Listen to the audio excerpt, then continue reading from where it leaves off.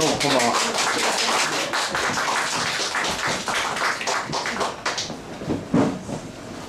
こんばんは。よろしくお願いします。よろしくお願いします、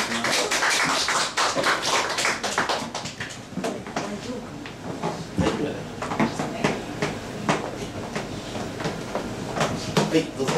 はい。えー、ビーストの企画の絆フォーエバーということで、えー、今日から5月ですね。5月といえば5番ズということで、え？そうそうきました。あの5月のこと25日に5番ズが、えー、メジャーデビュー25周年ということで、おめでとうございます。えー、そこで、まあ、本日のこの対談の、まあえーホスト役といいますか、えー、主役に森若香織さんをお招きしました。えーえー、そしてゲストでお招きしたのが、えー、白井亮明さんです。まず本当に基本的なところなんですけど、お二人のその出会いといいますか、そのいつ頃に遡るっていうか、その辺をまずちょっとお話しいただければと思うんですけども。出会いが、えっ、とにえっ、と ごレコード会社を通じて？そうですよねレコード会社の、えっ、とえっ、とね「Greatest Venus」っていうアルバム出した時のうん。プロデューサーだったんで、その前にさチキチキバンバンだ。ああそうだ。出してるその時にディレクターだったほら元ニューサディスティックピンクの人。NSP NSP の人。あの人がディレキャニオンのディレクターだったうんうんんですよ、ね服部さんね。あそこにいるのはあのその当時の服部さんというかあのディレクターです。ええ。あの拍手がでも キャニオンのディレクターじゃなくてあのスパシフィックお金出してる方のね 出版会社のね。いまだに一緒にいるわであの人何だっけ？に NSP のあの平賀さん。あ平賀さん。面影橋平賀って言って面影がある人みたいな。えそう。だえそうじゃなくてニューえ NSP に面影橋って曲があったんです。ああそっか。あれ面影橋って小室さんのところのあれじゃないの？まあ いいか。よくわかんないんですけど。浩平さんです。及川光平だよねで NSP をカバーしてたそれを。でもなんかねあのでアルバムの一番最後のなんだったっけ？スタッフ名前書くとかの時に「面影橋平賀」って書いてあったんですよあびっくりした。そその人を通じてですよあそうですね。長かったらええその人はゴーバーズのディレクターをしてたのでで当時売れっ子のアレンジャーの白井亮明を呼ぼうっていうことになったんじゃないんですか？多分。そうですうん。そういうことです。それで最初チキチキバンバンですよねだから。最初チキチキバンドです。そうなんです。あのあれはミニアルバムみたいなやつかな。えっ、ー、とねえー、とミニアルバムじゃなくて、えー、とザ・ TV ショーっていう、えー、とボーバンズのテレビとかでタイアップをつきついた系の曲ばっかり集めた、うんうんテレビっぽい曲っていうかそういうのを集めたアルバムだったんですけど、TV ショーっつってたもんね。そうです「ザ・ TV ショー」ってそれが最初だったんですよね。で僕ライブなんライブを見に行ったのかな。え？ー、そうでしたっけ？違うかな。そううろ覚えなんです。うろ覚えでねもうだだってもう30年ぐらい前の話だから。そうですよ。ね。そうなんですよ。だから25年前のその今私ベスト版作ってて、おほとんど忘れてるんですよねその時のこととか。でも曲を聴いたら思い出すこともあってだから今、うんうんうん。ちょうどそのあの編集とかやってたから今チキチキバンバンの話とかもスルンってできるけど、そうなんですよね。そうだね。その辺からね、はい。あのだから僕ねゴーバンズの存在は知ってたんですけどうん、知ってたんだけどどういう音楽かって知らなかった。うんうん。で、あのーそのチキチキバンバンをやるにあたってまあデモテープとかいろいろあるじゃないですか。それを聞かせてもらうとまあなんとパンキッシュな元気のいいこの文武両道の女子がですね、えー、なぎなたを持って北海道からやってきたっていう感じがすごく すごくして。海を渡ってきたって言うんですよ。もうすごいこのチャキチャキ感があったんですよ。でこれは非常に今っぽいというか当時っぽいね当時今っぽいと思っていましたね。それでやれることは非常に光栄ですということで平賀さんにお返事してそれでやることになっていったんですね。でも、うん。そういろんな方がそのプロデュースとかしてくださったんですけれども、そうなんかムムーンライダースの人っていう感覚があったから、うん。そのミュージシャンの方がっていうイメージがすごい嬉しかったんですよね。あの、うん。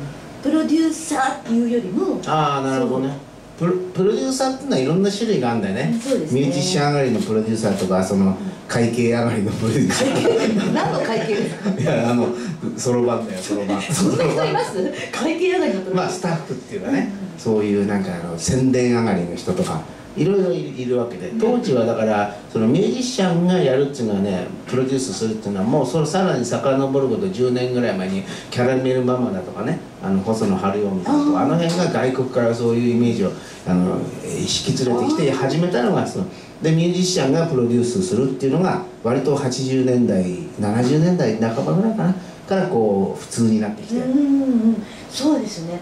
あの最初私たちそのバンドで、ん。バンドってバンドだけでやらなきゃいけないのかと思ってたんですだからバンドだから、そう。でもどうしようギターいないしみたいな、あいなかったのにいないですよ。あそうかそうか。いなくて楽器足りなくてあ香り私はあの最初ギターで入ったんですけどギターが下手だって言って、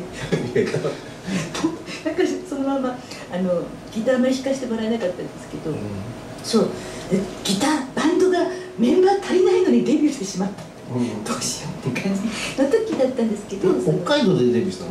北海道じゃなくてこっち来てから。デビューです、うんうん。はい。でそのごめんなさい、T、TV ショーって一緒にやる前はアルバムは何枚か出してそうですね。えっと23枚出しああキャニオンで？そうです。インディーズとかじゃなくて？インディーズも、えっと、な出してます、うんスイッチっていうところで。あスイッチね。はいスイッチレーベルってはいあるんですよ、インディーズの。あれえあの POP 関係ですよね。あそうですね。あのレーベルはね。普通に話してたけどでもスイッチ話してくださいね。普通に。話して参加してくださいね。ちょっとあ遠いのはこのカメラがあるからであってあのこれはあの座談会そうそうそうですね。NHK の番組みたいなそうそうそうそう。だと思って昔の U みたいな。U みたいな。知らん。糸井重里ですね。あ の、はいなんだっけ？えっとあスイッチっていう、レーベルから今でも雑誌ありますよね、ありますね。おしゃれな。あね。あそこのレーベルうんですよね。あの雑誌管理っていうのね、あそこからこうねそれそれぞれ雑誌の中にレコードになったり。そう。だから私たちほら事務所がちょっとナゴム系の事務所だったからナゴム、うんあうんのケラ宇宙店とか、うん。筋肉少女隊とか、うんうんだからナゴナゴムからナゴムっていまだに言われて、うんうんあのもうあのインディーズショップとかに ナゴムのコーナーにゴーバツあるんであなるんですけど、うん。でも実はそのスイッチっていうとこうんうんろから出して、でコレクターズとゴーバンズ、はいはい。両方服部ちゃんやってたんですよ。そうああなるほどね。そうなんです。よ、うん。だから。それそのままあのうん。1 3枚出した後のチキチキバンからお付き合いをするということなんだよね。僕ねだからあの TV ショーっていうアルバムをやったらねもう声がかかんないと思ってたの。あ本当ですか、うん。うん。あれあの TV ショーってアルバム僕が全部やってるわけじゃないよね。そうですね。確か何人かのプロデューサーがいたんですよ。で他の人のを聞いたのそのアルバムの中で。そしたら僕がやったのよりいいなと思ったんだよね、えー、嘘！いや僕はそう思ったの。本だからいや僕自分のも別に悪くはないんですよただいいなと思ってたので僕には来ないなと思ってたら今度は白井さん全面的にお願いしますっていうところであ非常にあの評価していただいてありがたいなとあいうふうに。うん。あそれで張り切っちゃったわけです。でもその後が「グレイテスト・ヴィーナス」って言ってそれは全部両名さんにお願いしてそれは全曲両名さんでもうそうだね。で「会いに来て会いに10」とかうん「うん。無敵のヴィーナス」とか、うん。それがヒットしたんですよ。ヒットしたんですよ。そう。あのいい1位になったんですよそのグレーもうなね。3700万枚全世界で 売れるような勢いぐらいの。マイケル・ジャクソンみたいな。でもねそうあのー今その編集ベストバンドスペシャルゴーバンズっていうんですけど、それのあ今度出されるんですよ。そうです。拍手そうです。そうです。そいつに言ってるの別に先生っていうかあれこいつにその話も今だから思い出すと、そのえっ、と何年にどのアルバムっていうのももちろんあるんですけど、全部こう一緒くたになってこう聴けるじゃないですか、うん。20年以上経ってると、でその中でも本当にグレイテスト・ヴィーナスとそのチキチキバンバ両名さんのアレンジがもう抜群なんですよ。あそうですか。それ別にありがとうございます。おだててるわけじゃなくて、うん。冷静に聞くじゃないですか、うんうんうん。あ離れるとね。離れると冷静にでもちろん皆さん素晴らしい、うん。あの才能を、うん。他の人ももいいよね。すごいんですよ、うん。それぞれ。でもなんていうのかな。今聞いてもなんかねうすごい実験的なものがたくさんあって、古くないの、うんうんなんつうんだろうこう、おしゃれすぎておしゃれすぎたものって今聞くとちょっと恥ずかしかったりするああそうね。それがあのおしゃれすぎずなんかこだわりすぎずすごく遊び方が、うん。あのなんか時代年代関係ない、うん。昔のミュージカル映画みたいな曲みたいな風に聞こえるんですよ、ああそうですか。そう。それがすごく良くてありがとうございます。褒められてしまいまそうしたなんですよ。それは本当にそう思って、うん。面白いですよ。うんうんすごく。あのなんかなんて言うんだろう、あのねうん、ごめんね。うん。昔はねあの今と違ってねいろいろスタジオで実験ができたんですよ。ああそうですね。あの本当にだからねほん実際あの今ねアルバム1枚作るってね変な話予算なんかは本当に100万だ200万だってやってたんだけど当時はもうにもう10倍さもう売れてる人なんかもう 1, 1億円かけるみたいなね。そのぐらいのスタンスがあって。で そんなにかける必要はないのにね、うん、そうそうそう。であの当時多分ゴーバンズのあのグレイテスト・ヴィーナスだって1000万2000万はあったと思う、そうなのかしうん、ら、あるあったと思うのね。でそういう場が要するに作れるんですよ。スタジオで。そうするとスタジオでいろんなああしようこうしようっていうそのトライをできるわけ。でやっぱりこれでやったらダメ次のアイデア次のアイデアっていうふうにすごく自由のそのクリエイティブな場所としてスタジオがあったのね。そうですね。あの今のレコーディングと全く違って、その時は良かったなと思うのは結局現場でみんなで音出すじゃないですか、それで今はもうデータだけで私ずっと今作詞家やってるんですけど、うんうん。もう会ったことない人たちとやるやり取りするんですよ。あの作曲のまあさんもそうかもしれないけど、うん。作曲の人編曲の人、うん。作詞家の人、ん。あと歌う人全員、うんディレクター、全員会ったことない人と、毎日。全部メールなわけだ。そうです。はじめましてなんとかと申しますけどなんとかの曲に作詞してもらえませんかみたいな。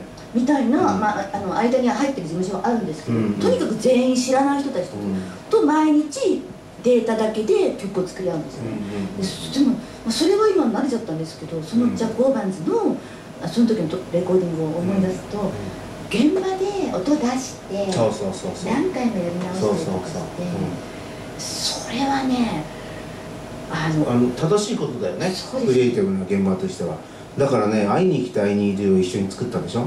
その時のねあのバイオリンの中西さんっていう方が「会いに来て会いにじゅちーてるちーてる」ってねあのフレーズなんかあそこにたどり着くまでにねもうゴーバンズのみんながね言うわ言うわねでもうその中西さんっていうバイオリンの人泣きそうになっちゃってねすごいすごいほとんど落ち込んで帰ってくんだけどだから私も若い20代でキャーキャーしてて、そうだねそうだと思うんですけど心に何がたがあったからねあのねクラシックな方だったのかしらいやあの中西さんってことはやっぱりジャズも全部できる 素晴らしいその反応のある今でも有名な方ですよ。その有名な人をケチョンケチョンに「ダメ今のダメ」とか言ってやるわけだ。まあ俺もだいぶいじめられたけどでもねそういうそういう感じで要するにクリエイティブにどんどん作品を上げていくそういうようなことができる時代だったね。そうです。今思い出しました、その中西さんがブースで最初「会いに来て会いにじゅララララン」とかすごいあ可愛らしい美しい、うん。美しいのをやってくださってるんですよ。すごく。女性どうなのこれそうそれで「待って待ってなんか激しく」とか言ってすごい言ってもう泣きそうだった。それ10回ぐらい繰り返してた。そうでもね中西さんがですポーンってスイッチ入ったのを今思い出しました。私たちが「そうだ。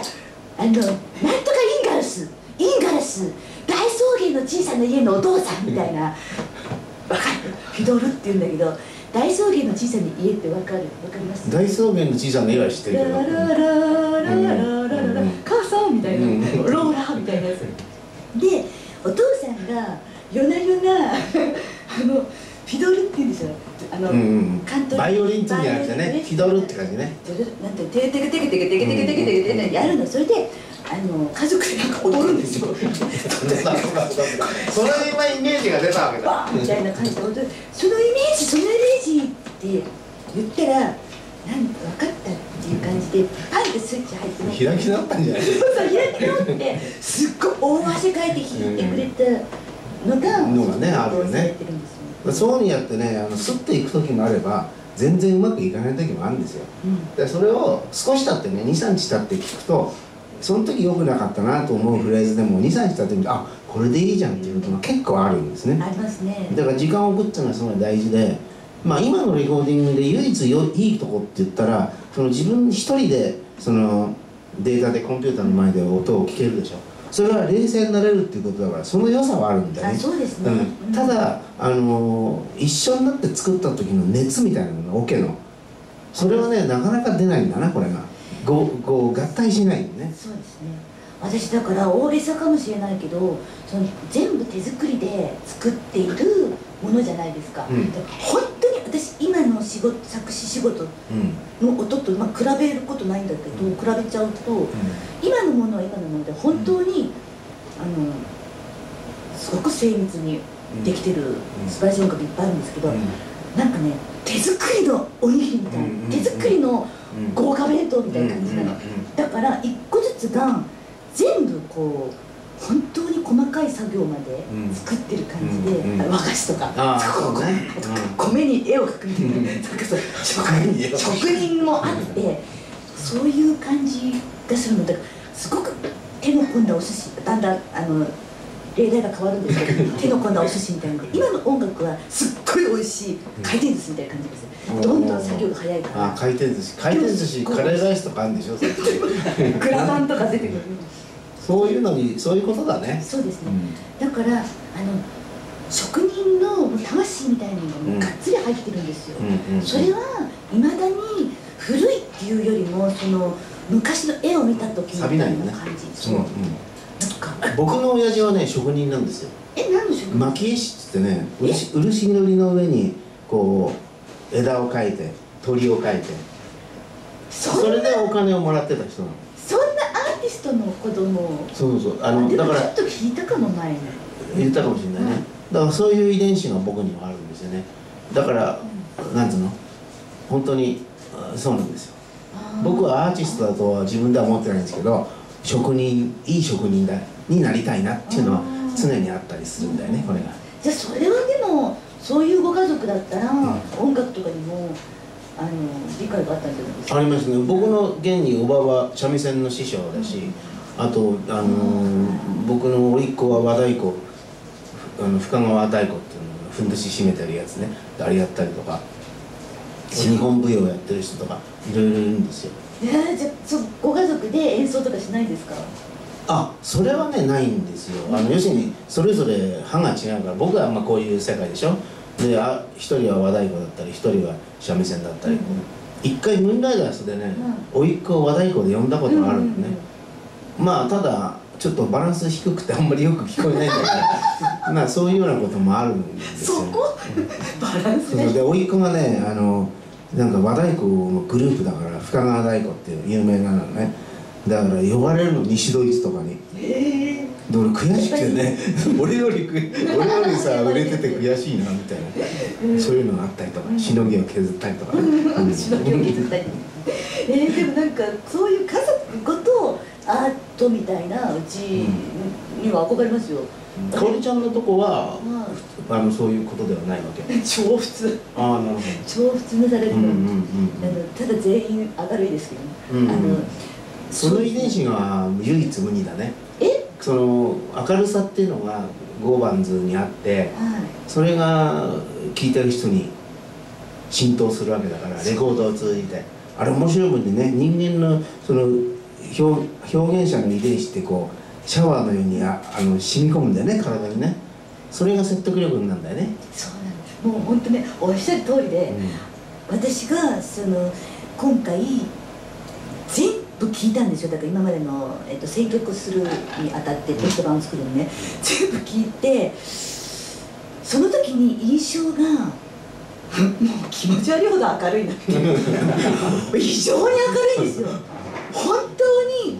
ただその明るさがこう天真爛漫とはちょっと違うなんかこうひねくれた明るさで、うん。こうそこがまたリアルだったんですけれども、完全にみんな頑張ろうよ、うんうん。みんないつまでも一緒だよ、夢は叶うよ。フォーエバーとかなんかそういうことは言ってない。の、うん言ってなくてなんかあのあとハートブレイクソングとかもなんかもう一度必ず何か幸せをつかむためにとかじゃなくてねとりあえずなんかあいつの悪口言っとけみたいなそういう世界なのね。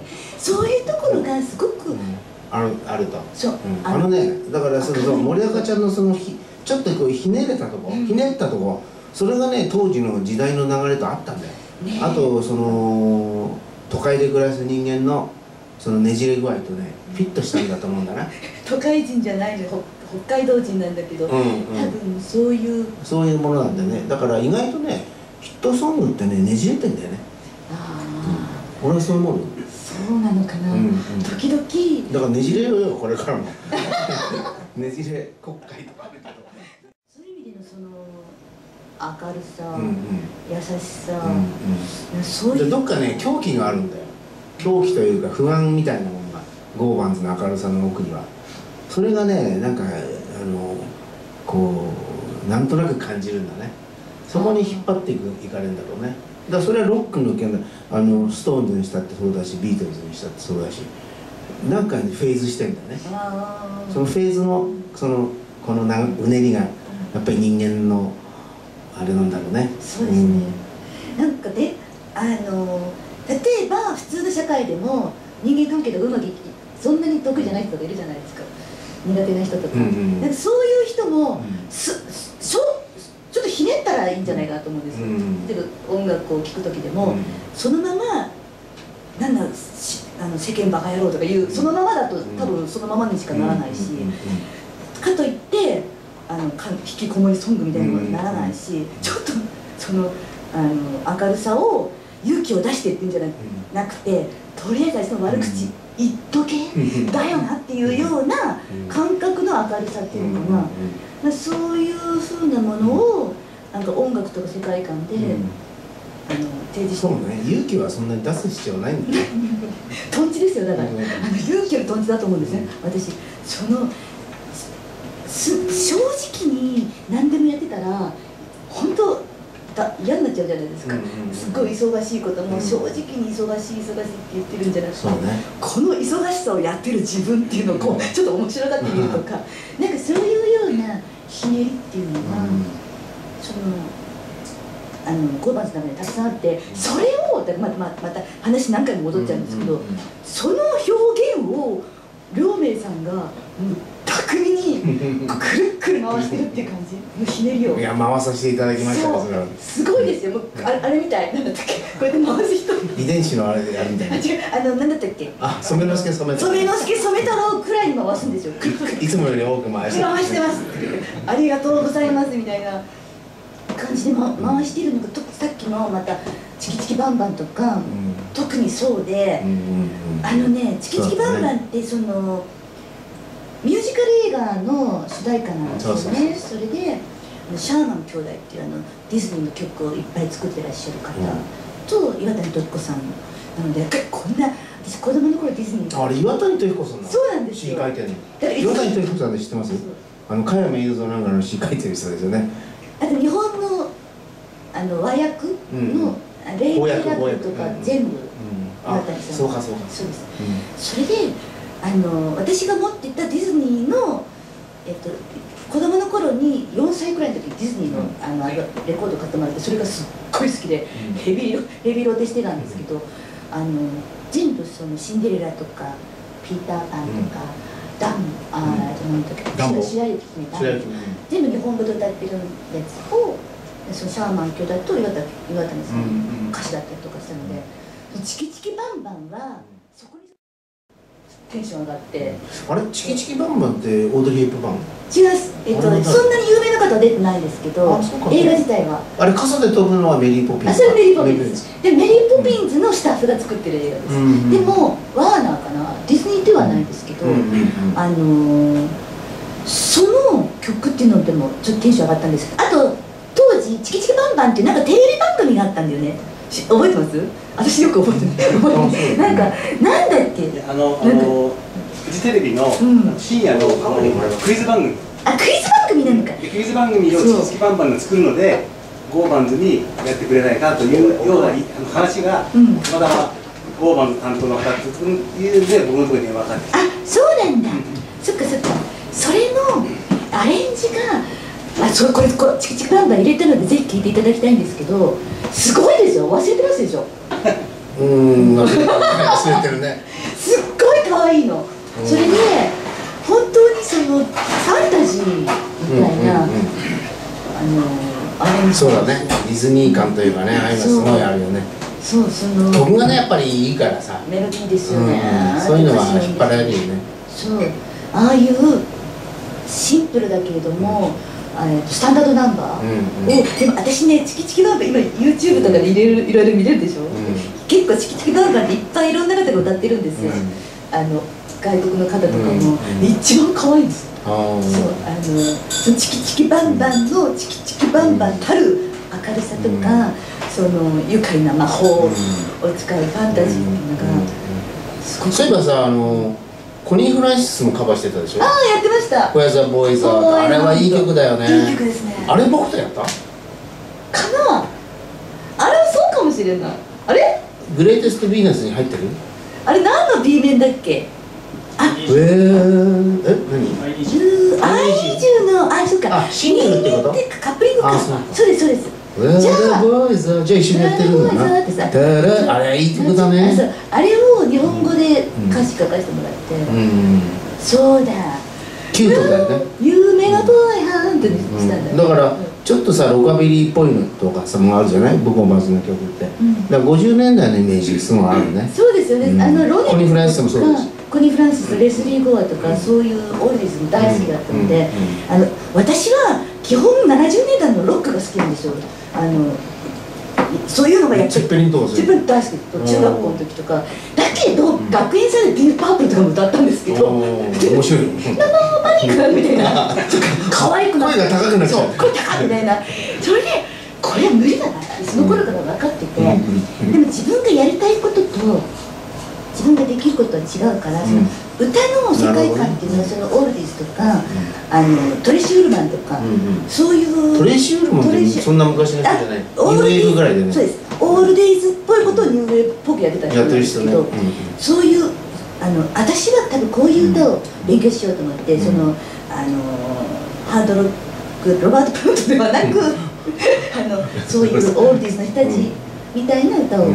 あの練習したんです。あのねニューウェーブの後期ってねだから7080年代に突入してからはねそういうのあったんだよね。ニューウェーブの動き自体が昔の50年代のそういったあのコニー・フランシスとかあと何ロカビリーとか、そういうのを、まあ、ロカパンクなんて言ったじゃないですか。あのブライアン・セッツァーに、はい。あの通じるようなね、はい。だそういう50年代のものってのはどんこちゃんかどんこちゃんかな景気いいんだね要するになんかね。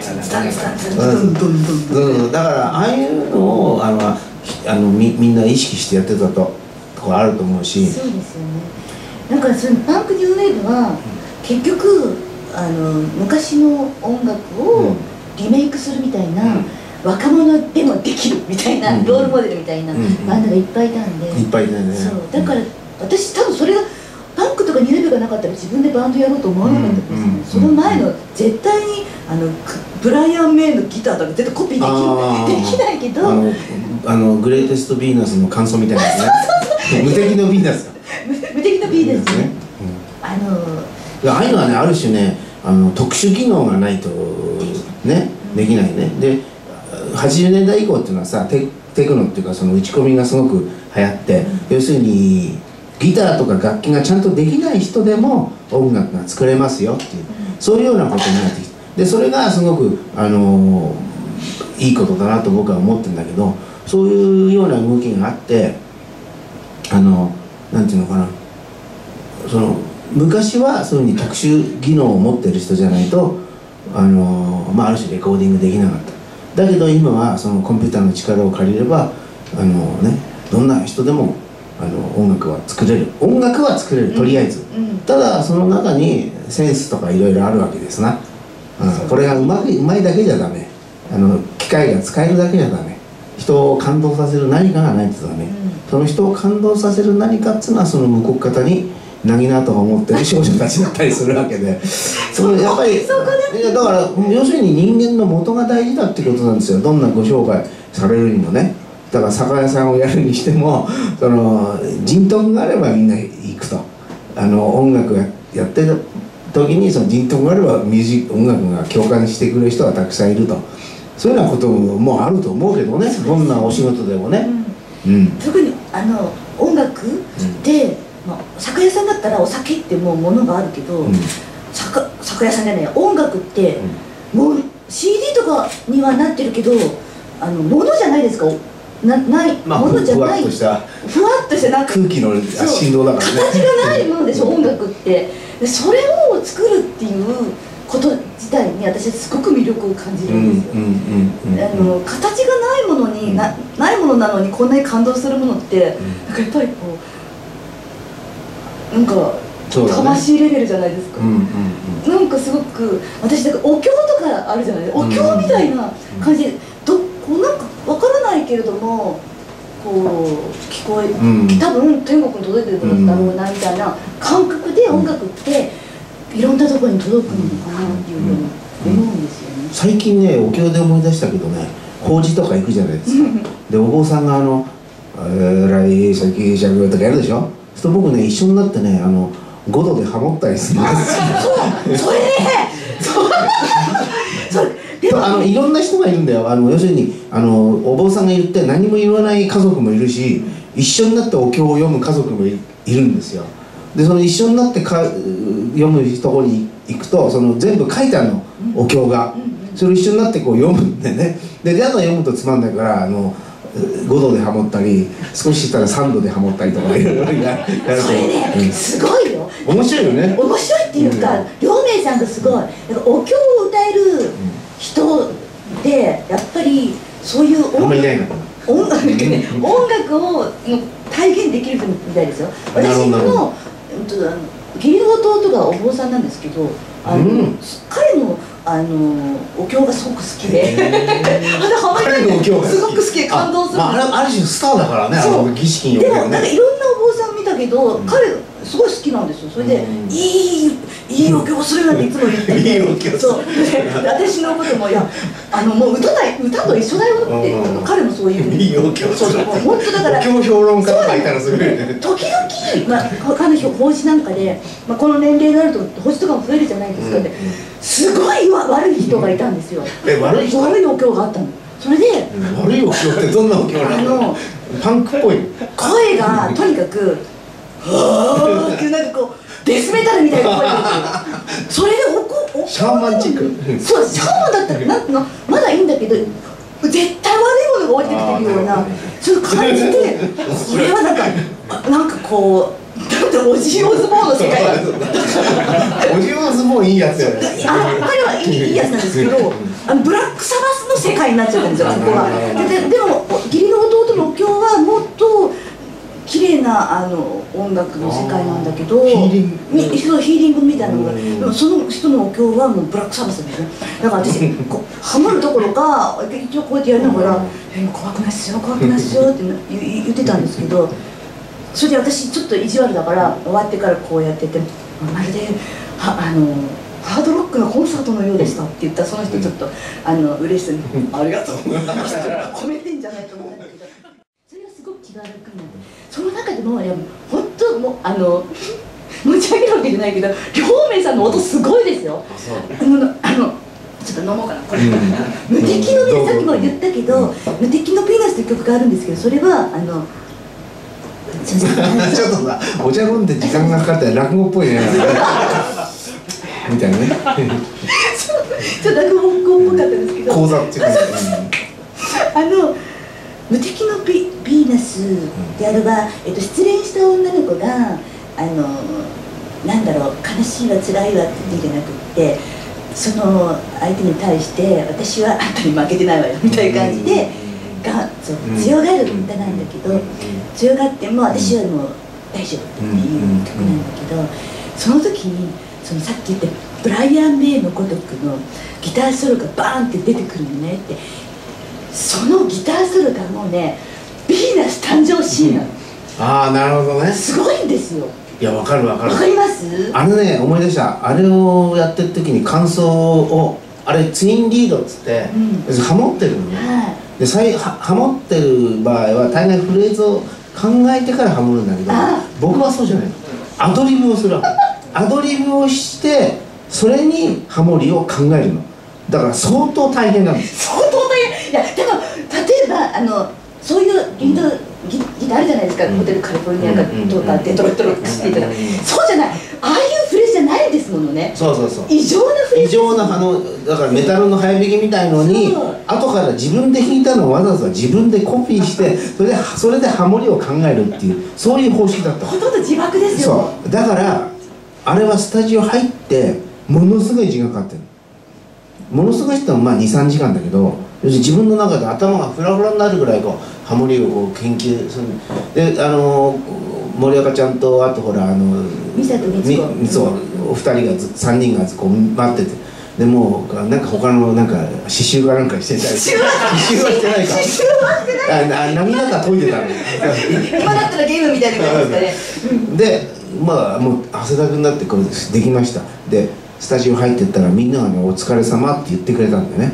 それでね救われたの。言いますよそれは。いやそうだからみんな言うんだけどあのねあのなんつうの？本当に大変だったから あの時は。えらいことやっちゃったなと思いながらでもやったってもしょうがない。でそうやってね自分のハードルをわざと上げていくんだね。無責任にフレーズやっちゃうわけ。でそれで後で自分で苦労してそのハモリを考えるっていう。それがね上がっていく一つの原因だよね。で自分のレベルなんか気にしないでややるだけやってそれにさらに上乗せするっていう。ことがあのもちろん今はスタジオではできないけどあの当時はスタジオでそういうことができた。23時間ねタカがハモリのギターのために23時間スタジオで使えるっていういい状況がクリエイティブないい状況が彼あの彼らの彼女たちのレコーディングの時期にはあったんですよね。そうですね。でも本当に自然なままっていうよりもプラスちょっとレベルを上げるところに自分をうん。わざと活かせるみたいな、うん。そういう環境っていうか気持ちがみんなありましたよね、うん、それで伸びるんだよね。そうですよね。で意外といけるんですよそうそうだからね昔ねあの服部半蔵っていうねあの忍者がいたんだけど。忍者はね要要は木に登る。え木にね届かないと思っちゃダメなんだって絶対届かないんだけど絶対届くと思わなきゃダメなんだって。でもそういうことですよね。そういうことなんだよね。だから忍者はすごいなと思って。忍者に例えて今びっくりしたんですけど でも忍者の忍者くらいのギターソロでしたよ。今聴いても。忍者ぐらい。そう。これ忍びのフレーズ忍びギターという。これどこで弾いてるみたいなだって 自分でも弾けないって言ってたじゃないですか、うん。あの時のギターソロにうん。もうそういう魂が入ってるのですよ、うん。であそこで私もう涙が出てくるくらい感動しますよ、うん。そのシーンがうん。頭に浮かぶんですね、うん。で今の音楽ってギターソロってほとんどないからないよね。そう。だからあの当時のあのスタイルだと、うん。あのギターソロがあってプラスなんか感想うん。あって、で最後フェードアウトみたいにな。うんうんうん。今フェードアウトもほとんどないから今の曲って、すごくそういう手法なんかも、うん昔のものなんですけどうんも、70年代のね。でもあの当時はやっぱりそれがよよかったなと思うのは、うんそのギター例えば歌詞があって歌うじゃないですか。そしたらギターソロでその風景を見せてくれるわけですよ、そ無敵のヴィーナスだったら、あの私はもう大丈夫って言ったらダララララララ上がっていってく感じね。来たーみたいなね、うん。ヴィーナスになったーって言って、そしてなんかこう絵が見える、うん。それが音音なんですよね、なんかそして、うん、と無敵のヴィーナスはフェードアウトじゃないけれども他の曲とかはその余韻を残しながら消えていく感じとかが、当時の音楽の作り方だからこそ、うんうんあこうしたかったのかなっていう。俺ねあのアイスクリームマンって好きなんだよ アイスクリームマンご存知ですか？うん知ってます？あのあれはあのスカです。そうだよね。トンスカみたいな、うん。アイスクリームマンも好きだしね。あとねあのルームライトをさステージライトに振り返ってなんだっけ？あのグルーピーの追っかけの歌？追っかけの歌でそのえー、とベッドライトをスステージライトに変えてとかっていう歌詞があったのね。スポットライあスポットをトライトかルームライトかななんかとりあえず、うんうんあのあそこがねあの言い回しがなかなか素敵だなと思って今でも覚えてますね。本当ですか？今ちょっと覚えてなかったじゃないですか、いやだから雰囲気雰囲気雰囲気雰囲気ね。本そのなんとかライトがなんとかライトにあのステージスポット？スポットライトとえーベッドライトルームライトか。その対象をうまくこう作詞にあのー取り込むっていうのは非常にこの作詞家としてのセセンスがですね光ってる感じは当時から思ってましたね。マジですか？ありがとうございます、うんうんいやいつか秋元を超えるかなと思って。超えないのか超えない、でも秋元せ先生だって秋元先生であの AKB っぽく言ってたけ？ど でもその時先生って言ってたあの最初秋元さんのところにあの通ったんですよ。あのデビュー前に。放送作家でいらした頃に。いやもう作詞家でいらっしゃる作詞家ねでゴーガンの作詞をしてくださったんですけど最初の、えっとデビューのコンセプトなんかも一緒に考えてくださっあそうなんでそれで作詞を私はもっと勉強したいなって言ったら、うん。そのいその事務所に行ってなんかお題を出してくれるんですよ。うん。じゃあ今回はこういう設定で書いてきて、書いて真面目に持ってって赤ペン先生みたいな。でもその時すごい学んだものとかもうん今すごくありますよ、うんあのなんかこう、えっと、今 AKB とか見ててもそそう思うんだけど、ん。その時おっしゃってたことそのままでやってるなってやってらっしゃるなと思うのが、変わんないんでしょでも変わらない。手法っていうのが、うん。例えばタイトルの付け方とかも、うん。えっと全く別の世界のものを2つつけるとか、うん。だから無敵のピーナスのああなるほどなるほど。そう。あなんか今もありますよね。なんかえあ出てこない、うん。AKB の曲なな何かああ俺よくわかんないんだ何がある？何がある？エブリデイカチューシャとか。なんか、うん。次に出てこなさそうなものをくっつける。とつけるとうん。面白いタイトルになるよって言ったのは、うん。私今でもすごくうん。なんか、ま、守ってるって言ったらおかしいけど、あのそういう。あな言葉のねちょっとこうさびっくりするようなっていうか、そう。なんか全く逆のものをつけるっていうのはすごく秋元さん。に教えていただから本当にいろんな方に、ん。そういうものを教えていただいて、うん全部メモりながら生きてきてみたいな感じで。結構真面目に。メモるの大事なんだよ構大事です。あの頭の中に入れとくと忘れちゃうのバカだからね。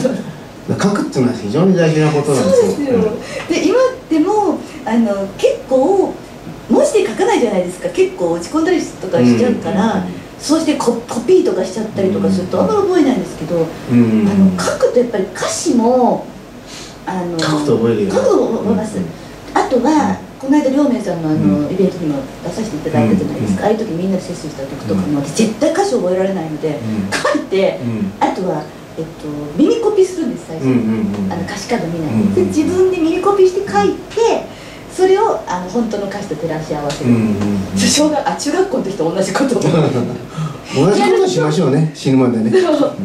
やると覚えるんです。だから中学校の時の洋楽とか耳コピでカタカナで書いてて後で照らし合わせてる人が超覚えて今でも覚えてるんですよ、うん。なんかそういうふうに。そうですね。うんところであのところで。話は相当ずれいろんなところに飛んでるんですあ全然いいですか？あのあなんか欠けたとこあの司会あののお二人にぜひ伺いたいのがあの、まあ、昨年はあの両名さんも40周年ということで、はい。はいろいろやってらっしゃって、はい。でまあ、今回はゴーバンズがメジャーデビュー25周年ということで、まあ、そういう周年というのがあったりするんですが、はい。あの長く音楽を続けていく秘訣みたいなものっていうのは何かあり秘ますか？訣ですか？はい。秘訣はじゃあ森若香織さんの方から私 私長くすごいずっと真面目に続けてるわけじゃないんですけどあの音楽をじ続けてるって感覚はあの中学校の頃からあるんですよ。だから音楽が好きなんですね、うん。でそれを自分でやるのもそうだけどあと聴くのもそうだし、うん。作るのもそうだし、ん。その音楽の中に自分の生活の中に音楽っていうのがあるっていう状態がずっとあるので続けるって秘訣というよりはあのとにかく音楽が好きだったらラッキーって感じですよ、で私本当最近もう本当思うんですけど音楽があの好きなんですね。それ その好きっていうのがその好きっていうのが異常に好きなんですよ、うん。なんかお今ね音楽のこと考えるだけでもうドキドキする。どあもそう。だから今結婚してないじゃないですか私。多分これ大げさじゃなくて音楽音楽のが好きそうなんですよ、うん。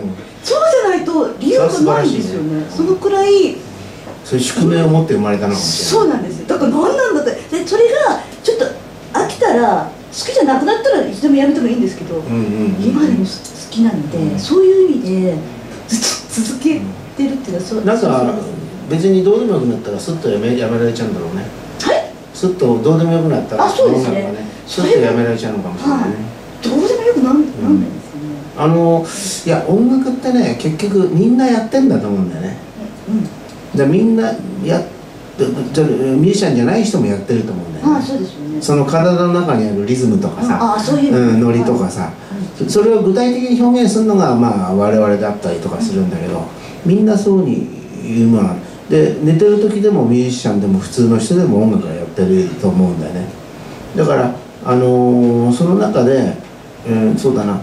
例えばあの長くひ続ける秘訣とおっしゃったけどあのー突き詰めない。突き詰めないこと自分を。であのーそのなんていうの突き詰めたところでその突き詰めたものっていうのが果たしてそうどれだけあの真実なのかっていうこともわからない。そんなものは火星人から見てらどうでもいいことだって。火星人から火星人から見ればね。だからねそこはね風に待ってていいと思うんだ、うん。なぜ音楽をずっとやるのかっていうでそれは考えないで自分にとって魅力的な音音像とかう歌いたい歌詞とかそういったその出したい音の種類とかねサンバだなんだっていろいろあるものそういうのを楽しくやるっていうことがねすごく大事じゃないかと思う。それをそこのと上上っぺのところを考えていいきましょうやってそこが長くし続けるコツなんじゃないかなと僕は思うんですけどね、とにかく楽しむっていう、そうそうそうそう。本当音楽がこの世になかったら、うん。超つまんない。私何やってたんだろうと思いますもん、うんうんうんあの音楽のが数学とか、なんだろう哲学とか、うん。あれいっぱいあるじゃないですか、学ぶもの。でも音楽だけなんか学ぶっていう字字じゃない。楽っていう字そう楽楽っていう字だから、うん超楽なんですなかなかいいこと言いますね。そうなんですよ。それはあれなんかいつ誰かに聞いたとか自分で発見したのかもう分かんなくなっちゃったんですけど、うん。あこれはいいなと、うん。要するにあれだよね。あの緩く結んで楽に開いて。うん。要するにあのこのとこのあの私のここ何年かの僕の考え方なんだけど例えばバンドの一緒にやる。仕事のの現場の仲間でいる。そういう人たちとも緩く結んでね。で楽に自分を開いていくっていうそその感じがすごくこうロングスタンスなんじゃないかと思うんですけどね。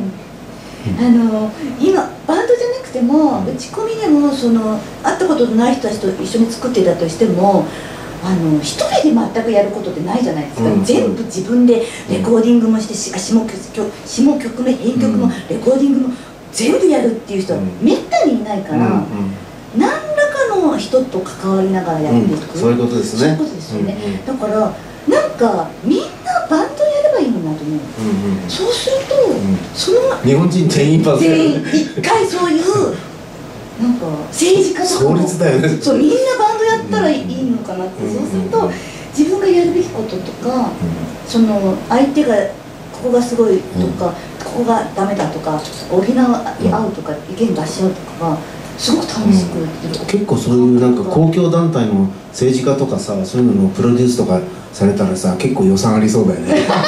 そこ予算はありそうですよね、うん。予算は欲しいよね。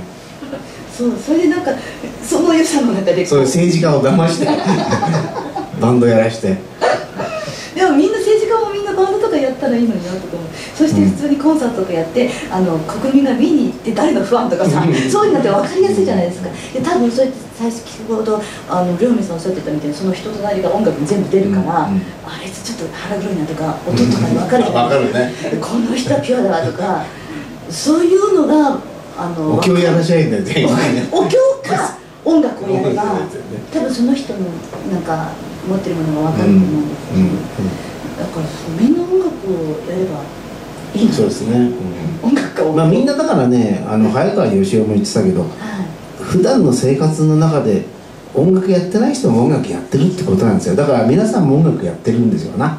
そうですね。は私はそう思います。うん。だって家事とかする時でもさなんかこう拭く時とかでも必そうそうそう。ずリズムがあるリズムがね。っていう歩きと時とかでも、うん。うんうんそう。そうですね。そうですよね。そういうふうに、あの日常の中にある音楽をなるべく具体的にしていくのが、もしかしたらミュージシャンの仕実は事我々の仕事かもしれない。けどねりょうめいさん。でもなん。か嫌になったこととかありますずっとやってて嫌になったことあったかなあるねあります、うん。何いつそ頃ですのプロデュースしてる連中がだらしない時とかねか誰しないって時間なん。かがほら一応あのいい曲作れないけどあのなんかやっぱりそのうん悩んでる時とかね一緒に悩み始めちゃった僕はねプロデュースって言っても独裁主義じゃないんですよ。一緒に音楽を作っていくタイプなんですけどその時にこの悩み始めちゃってドラムとベースのやつとかが「いや俺はこのフレーズ嫌なんだよな」と。とドラムのやつが「いやそれやったら俺たちは終わりだよ」ってねこの揉め出すとねすごく嫌になっちゃううね、ん。でその揉めるっていうことはね火星人から見たらどうってことはないんだよ。だからねその火星人的感覚をみんな持つのはいいと思うよね、そうですね。あのーだって25年とか経ったらどうでもよくそうそう。よくてたどうでもよくないしますものね、でもやっぱりそのプロデューサーってあの、うん。いろんな方が本当にいらっしゃるんですけど、うん。亮明さんはなんだろう。このまんまなんですよね。そのスタジオに誰が来るかでその日のテンション変わるじゃないですか。そう。ぜずーっとそこはかなくひょうひょうと面白いんですよ、うんうんうんあの狙ってはいないんだけれども常にこう面白い感じがあってあまりこの温度変わんないよね。変わらないです。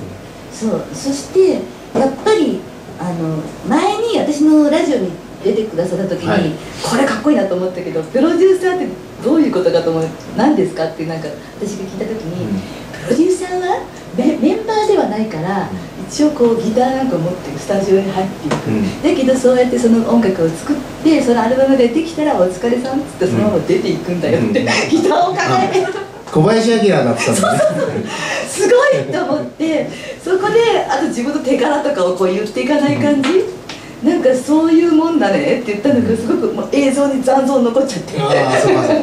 要するにほら昔の日活映画なんかはさあのねあの小林明がそのある町に来てあの悪いやつがいていじめられてるいい人たちがいてそれをやっつけて彼らは幸せなんだけど自分は去っていくっていうね。そういう 映画では支援みたいな。さナイスガイね。そうそうそうそう。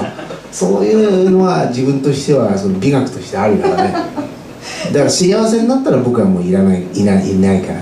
さようならって彼らが「あプロデューサーどこにいるんですか?」って言った時にはもう透明全でいいんだと思ったのだから、うん完全にバンドのメンバーが決まってて、俺たちこれだぜってガンってやるんじゃなくて、どうしよう。ギターいないとかなん。かそういう状態でみんなにこう助けられ、うんうん。助けていただいうんてやっいやみんながそれだけ寄っていくなんか魅力があったっていうことなんじゃないんですかなぎなたもなぎなたがあるからね。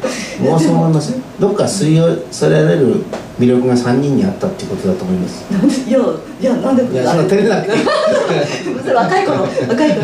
それ多分ねそういうふうに今考えたら本当に不完全でよかったなっていう、うん今回。改めて思ったことでなんかもうそういう皆様の才能っていうので作られたもうん。のですよね。私たちは、あのその中で思う存分なんか音楽を勉強したり、うん。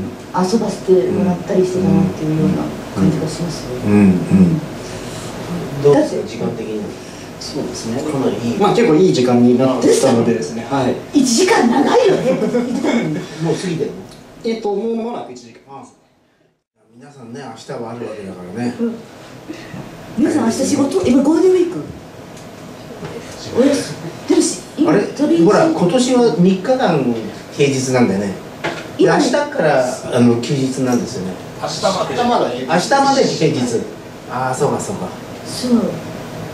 俺らでもあんまり関係ないんだよね。関係ないです。我々はね仕事がなければずっとゴールデンウィーそれは。クデスウィークになっちゃうんデスウィーク。考えようによってはでもあのず自由業の音楽にかけるそう自由業みたいな人たちってずっと休みでもあるけどずっと仕事でもあるじゃないですか、まあそうね。なんか例えば仕事締め切りとかあるじゃないですか必ず、うん。じゃあ3日後に締め切りだって言ったら最後の1日で書くのもありだけどここからちょっとずつ書くのもありじゃないですか、うんで構想みたいのはずっとあるじゃないですか、うんそうすると永遠の一生完全な休みはうんうんないですそうね。であの変わりのない仕事なんで要するにこれダメだったらもう一生仕事来なかったりしますからね。ある仕事をしてダメだったらあもう白井さんは頼まない方がいいなっていうことになったらね一生ないから一生ゴールデンウィークっていうことになるんですなこれが。だからそのそこを、まあ、常に切磋琢磨していい作品を作って生きているということですね。ね。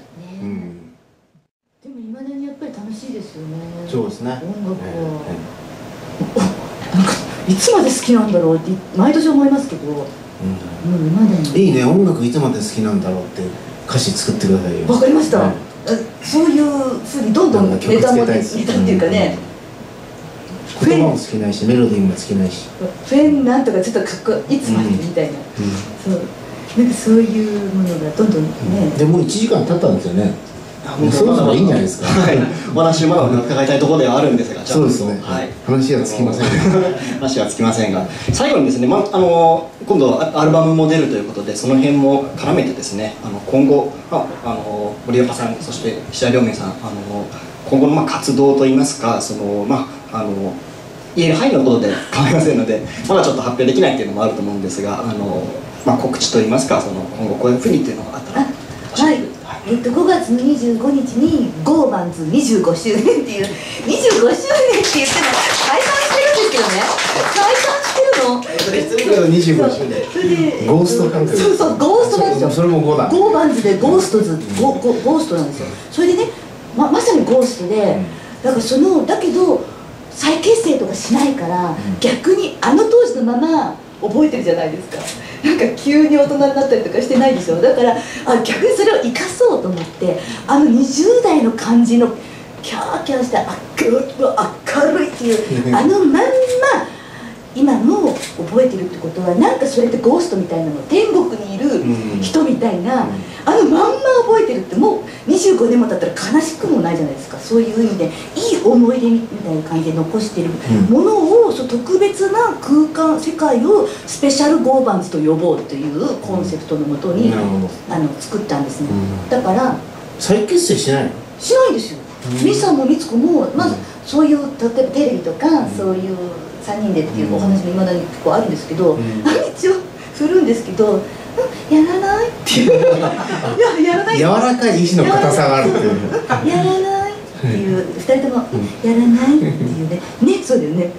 こうこうこうだから申し訳ないけど」って言わ言わないよね「うん？やらない?」っていうそういう感じなのでやらないんですけど、ん。だったらそのまま残して私は逆にそのバンドじゃないっていうこと一人なんていうことの,、あのいか利用していろんな方とセッションしたりとか、うん。そのあとは本当にあのカラオケみたいな音とかで、うん。あの歌ったりとか、うん。そういうようなことを、うん。その旬のバンドってわけではないので、うん。あのここからずっと30周年に向けてくらいにゆるゆると。うん。一、人であのコーネリアスとかオリジナルラブみたいうん。に一人で5番言おうかと思って。あ言えないことはないよね。そうですよねそういう活動をちょっと、なんかさその明るい明るいジェンバーキンとかさ明るい あのーマリアナ・フェイストルとかさそういうような感じの森岡ちゃん見てみたいけどね。本当ですか、うん。なんか。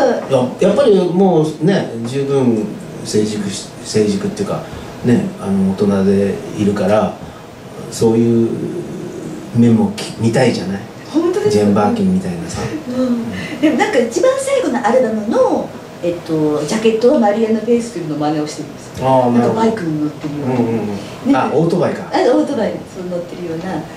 あそうそうそうそう。です、それででもそういう今思ったんですけど25年経ってね自分がそのイベントとかライブとかでその5番の曲を歌う時に、うん。この間の両面さんで見たのあの素晴らしいミュージシャンっていうのももちろんやりたいし、うん。そうじゃなくてもあのなんていうのかな。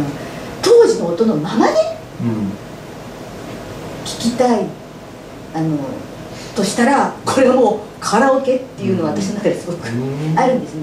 それでカラオケって言ったら聞こえが悪いかもしれないけどテレビとかってほとんどそうじゃないですか、あ今ね。そう、ん。今って昔もそうだったんですけど、うん。テレビ出る時って、のあ当てぶり当てるなんです、うん。それでその方それがあの楽してんじゃなくてその方が音がテレビに出た時音がいいんですよ、うん。変に生でやるよりも。だってボーカルだけ生だったりとかするんでだからそういう感じでで今の人たち DJ がいてそのまま、うん。あの歌ったりとかするでしょ、うん。ちょっとそういう感覚で一人でねうん。やれる場所とかも作って変になんか「会いに来て会いにしアコースティックバージョン」とか「ボサノババージョン」じゃなくてあのままややれればいいなって会いに来て会いにしようボサノバって気持ち悪いよね。なんかすごくそういう大人向けじゃなくてあの頃のままをすごくこうなんかぜいぜい言いながらやるっていうのもありかなっていうのもありますね。全然全然やっぱり体力的にちょっとずつは大変だよね。はあはあ言っちゃうみたいな、あるけれども、まあ、それとあとはバンドのライブとかもできたらいいなと思います、はいそんな感じでずっとゆるゆるゆるとあのプロモーションをしていきたいなと思います両面さんの方はありますか？今年これからこんな風にしていくみたいなことっていうのはなんか。あえーとその今やってる劇場で公開されてる「セイントお兄さん」って映画のさんあの音楽をうちのボーカルの鈴木圭一と一緒にやったんですね。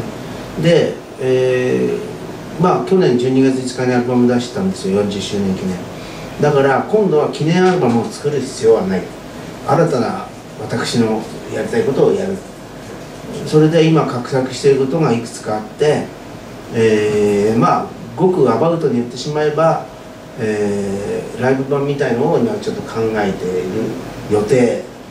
それプラス、えー最近ビッグバンドが好きになってきたので、ちょっとビッグバンディーなものを考えてみようかなと思ってたりも夢の中で5分だけ思ったり あんまり強く言うとさやらなかったら怒られちゃうからさ。そういうところがすごく見えてきてるんですね。だからで40周年では割と自分の内省を見たり内省ものすごく見つ見つめたことが多いので今度はもっとあの楽しい曲をやりたい。もう12曲全部楽しい曲っていうぐらいのイメージが今あるんですね。だからそれをおぜひご期待いただければなああ楽しみですね、、はい。やそんなことは森若ちゃんゲストで呼んじゃうあいやもう楽しいもうどこねは持ってきます。ですから本日お見えの皆さんも心に音楽を常に持っていただいてですね。老人ホームで会いましょう。そうしましょう。